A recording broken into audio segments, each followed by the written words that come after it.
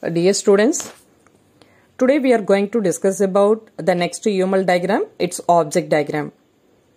So before we move on to that object diagram, first we have to understand the difference between class diagram and object diagram and this information it's very much helpful to you uh, to create a object diagram in StarUML software. So in the previous video, I explained what is class diagram and how to draw the class diagram, what kind of different notations which is available to draw a class diagram in StarUML software, right?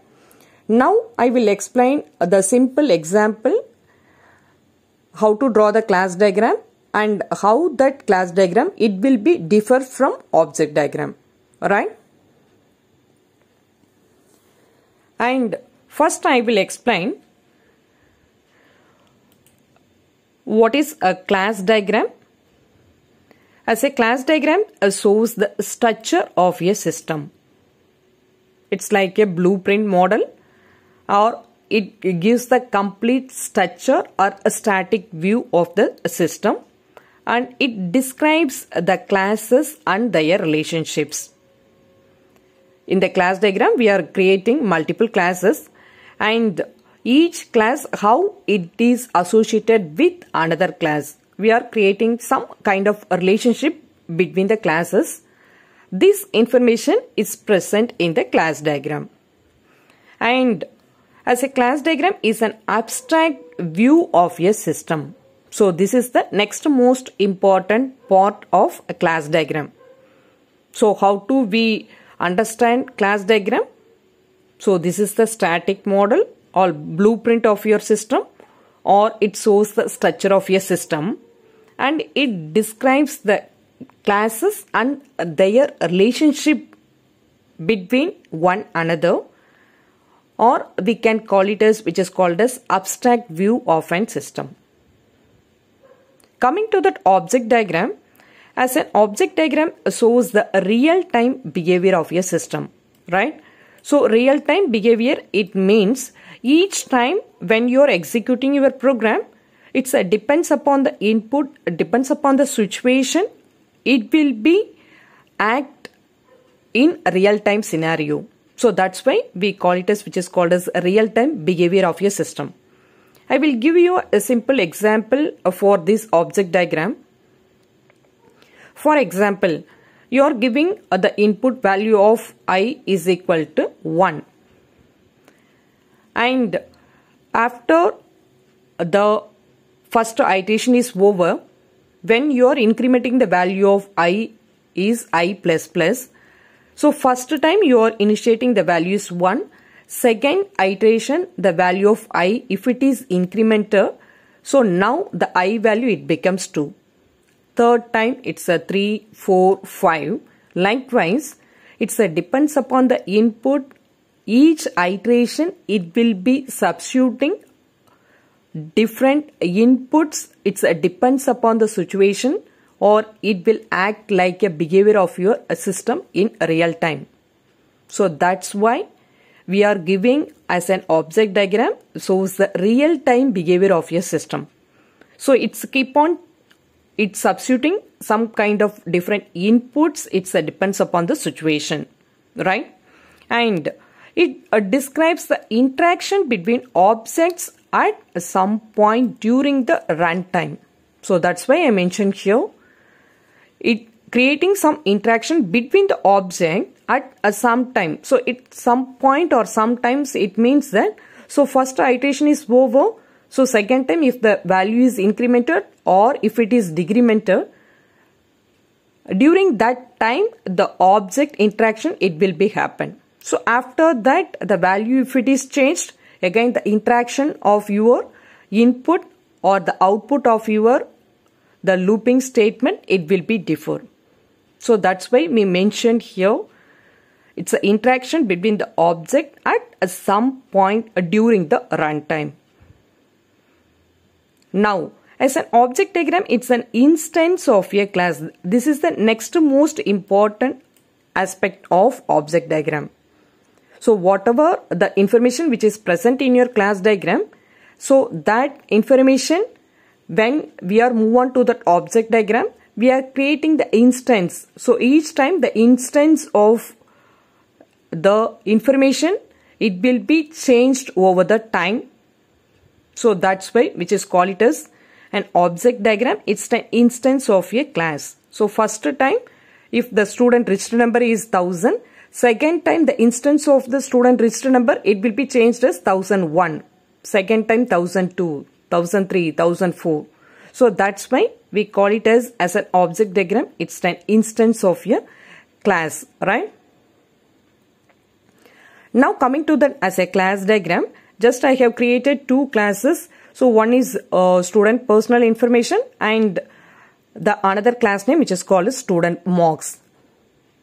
Now as a student personal information class have some set of attributes and operations and the second class student mark it's also come, have some set of attributes and operations so for the student personal information and students marks i have created the composite relationship so what it mean it's strongly depend on the another class so as a student more class it's strongly depend on student personal information class so without student personal information class the student more class cannot exist or cannot run independently.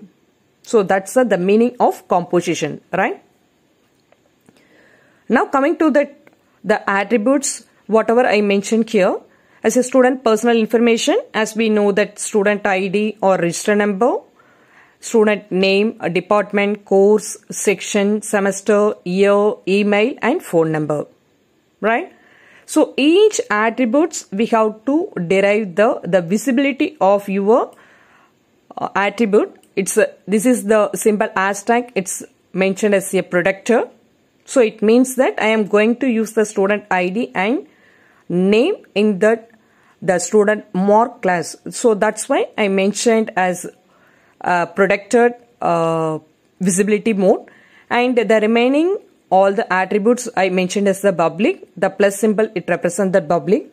And as a minus, it mentioned as a private. So for the student email and student phone number,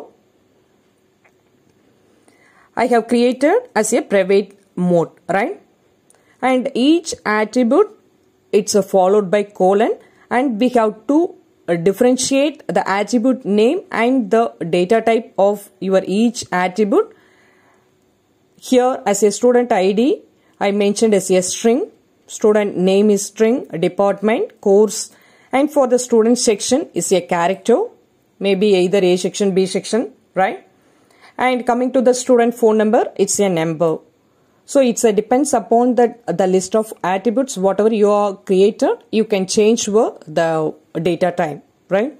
Coming to that, the list of operations for the student's personal information as an add student, update student, display the student information and if you don't want that student information, we can delete that student, right?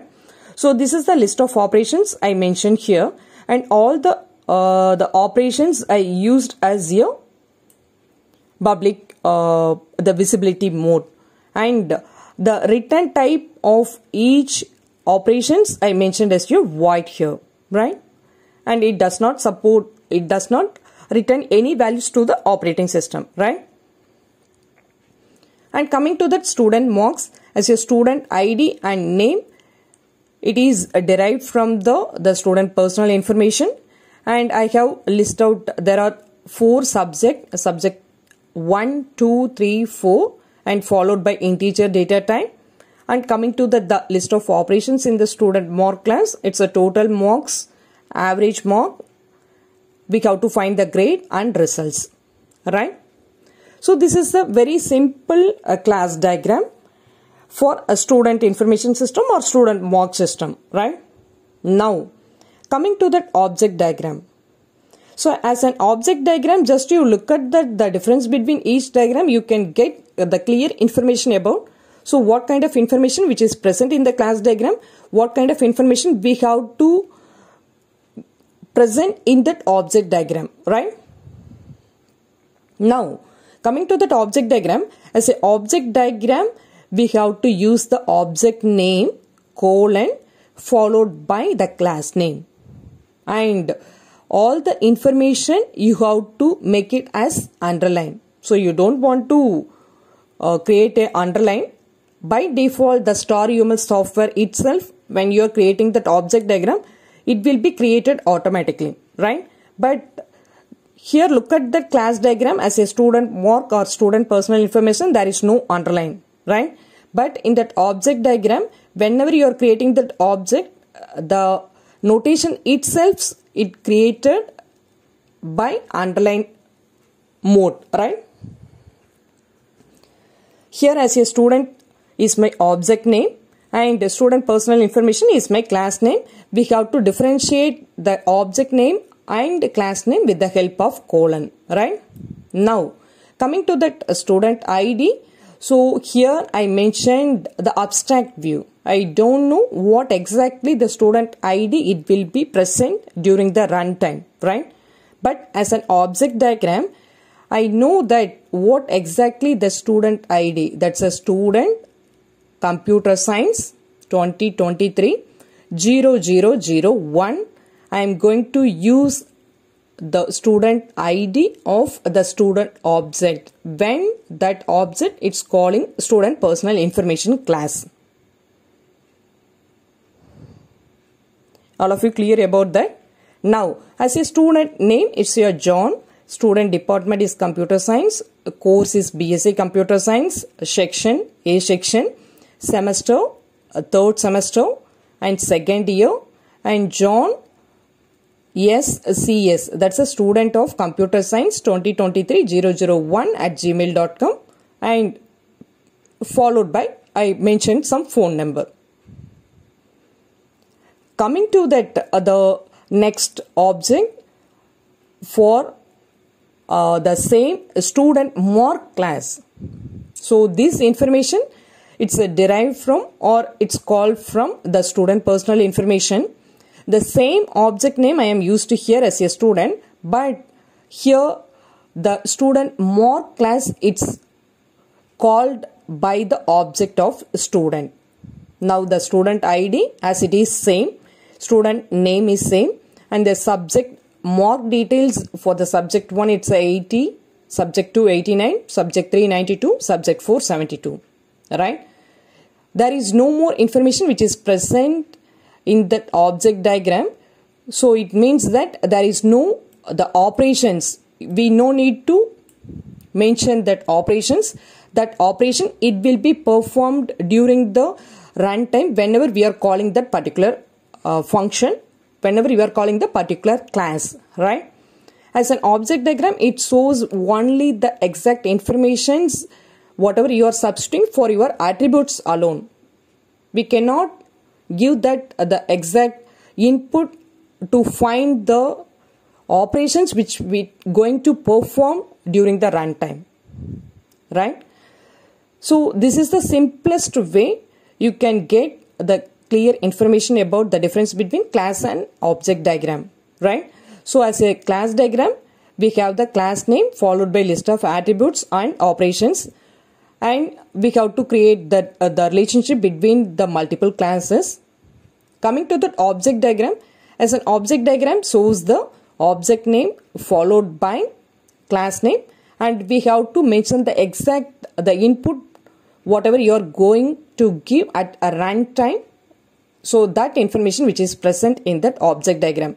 So and uh, here object diagram also we have to create the relationship. This is the uh, the linked object that's a direct association i have created with uh, that is uh, two different object name and so this is the simplest way you can differentiate the class diagram and object diagram. I hope this information is helpful to you all. In that next video, I will draw the object diagram in the Star UML software for the students information system and you can get the complete picture about so how to draw the object diagram and what kind of information which is present for the students information system in the next video. Thank you. Thanks for watching.